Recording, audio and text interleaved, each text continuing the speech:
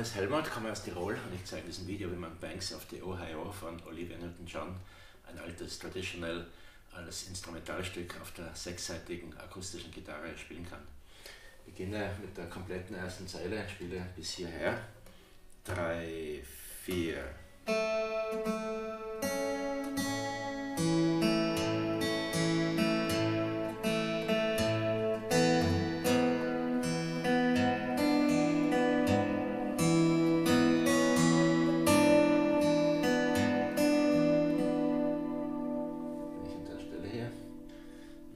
weiter.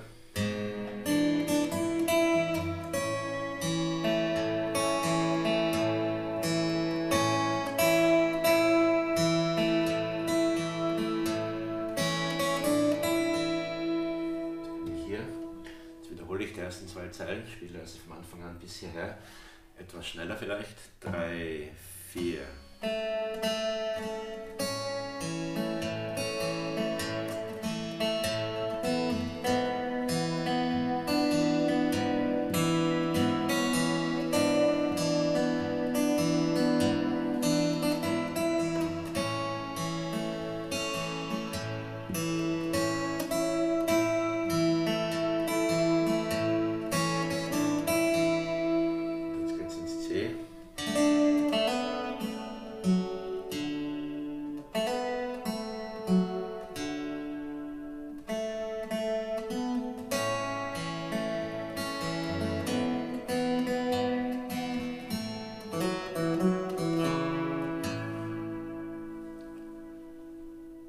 Wünsche jetzt viel Erfolg beim Üben und bis zum nächsten Mal.